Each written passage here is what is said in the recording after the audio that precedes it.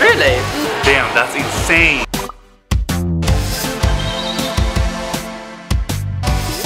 Surprisingly, like, it tastes like salmon. The texture's just the same. Absolutely fucking crazy.